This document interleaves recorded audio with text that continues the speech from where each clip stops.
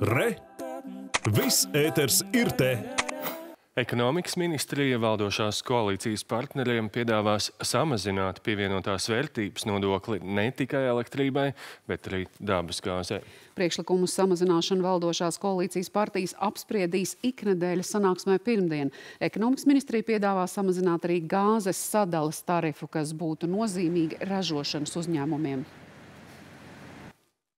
Paliek dārgāk gan gāze, gan elektrība, tad automātiski palielinās arī e, pievienotā vērtība nodokļa e, iekasēšana e, no valsts puses. Ja, un, protams, šajos apstākļos, kad cilvēkiem ir liels pieaugums ikmēneša rēķinos, no valsts puses nebūtu ētiski palielināt ienākumus uz šiem nodokļu iekasējumiem. Tā kā iedzīvotājiem ir jānāk pretī, un šis ir tas brīdis, kad ir jāsamazina nodokļu likme nu, kaut, kaut terminēta.